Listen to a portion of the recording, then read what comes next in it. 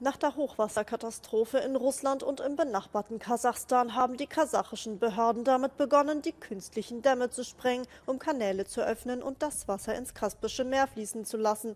Damit soll der Wasserstand in den überschwemmten Gebieten gesenkt werden. Lokalen Medien zufolge stehen in dem Gebiet immer noch mehr als 3000 Häuser unter Wasser. Etwa 100.000 Menschen in Kasachstan wurden evakuiert. Mehr als 7500 Menschen, darunter das Militär, errichteten vorübergehende Barrieren.